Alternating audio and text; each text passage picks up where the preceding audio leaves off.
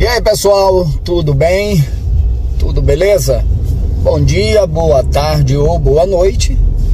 Depende da hora que você vai ver esse vídeo. Enquanto enquanto se descansa, carrega pedra, assim diz o ditado lá na minha cidade. Enquanto a gente dirige, nós vamos conversando e dando dica para vocês do DMV de como você tirar sua drive license. Falamos em vídeos anteriores os passos que você deve dar para iniciar o processo.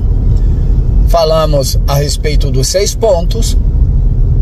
Falamos também da prova teórica.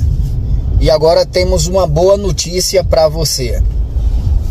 Se você tem a sua CNH ou sua drive license do seu país, já seja do Brasil ou de outro país, se a sua drive estiver válida e os agentes do DMV podem aceitar e você não precisar fazer o road test ou o teste de rua.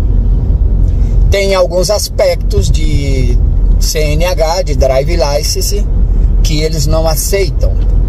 E se você quiser saber mais informação, você pode entrar em contato conosco e nós outros vamos fazer a avaliação do seu documento e vamos lhe indicar quais dos possíveis DMV podem aceitar ou não aceitar essa sua drive license.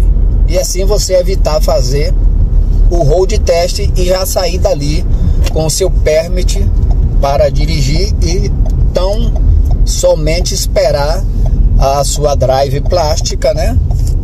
Ah, no período de 7 a 20 dias úteis, alguns casos até 30 dias.